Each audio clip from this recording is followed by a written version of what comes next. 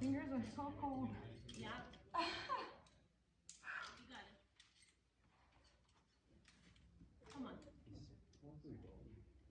on.